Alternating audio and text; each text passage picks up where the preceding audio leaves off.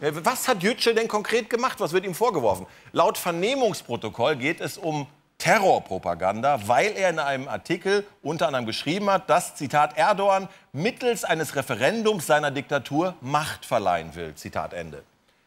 So, ich habe den Satz hundertmal gelesen, aber ich finde keinen einzigen Fehler, meine Damen und Herren.